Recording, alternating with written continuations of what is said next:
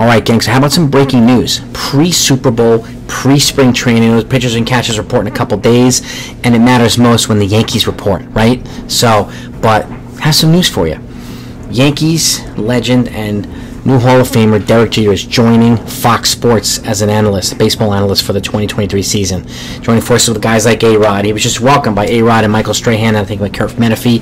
And this is the same network who just signed Tom Brady to a 10 year, $375 million contract as a football analyst. So they are getting some heavy hitters over here at Fox Sports. So it's going to be exciting to watch. And he'll be able to, you know, give his expertise and, share his experience. We'll have some fun baseball talk and baseball banter on there as well. And again, it's always good to have somebody, you know, players speaking from a player's perspective as well, especially guys that have recently retired, like Papi and and, and A Rod and now Jeter. So it's fun listening to these guys. And again, you know, you could see Jeter when he, when, when he was, you know, part taking part ownership of the Marlins, what he was bringing to the table there, and what he was bringing to the table. Even in the sh- in the show like The Captain, you kind of get a, got a sense of how he's going to carry himself and conduct himself, and that's the type of insight and wisdom, and I think you know, uh, humble background I think he's going to be bringing to the table here, and I think it's going to make for fun conversation, and he's going to give some good insight, you know, into baseball, which I'm excited about. So I, I wish him the best. Now they might be at some point. I mean, I, all the only details I've heard right now, so, and that's on Fox Sports, is that for the 2023 season. I haven't heard no 10-year deal or anything like that.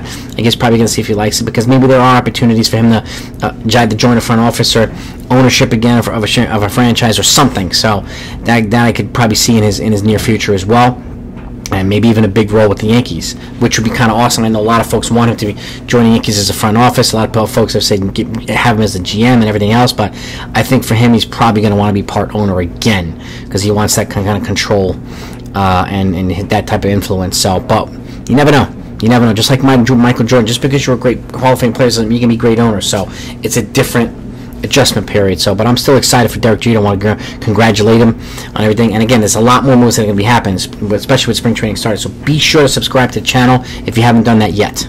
Okay, because players are going to get moved, they're going to get cut, they're going to get traded, they're going to go around from each team. So things, a lot of stuff's going to happen during spring training.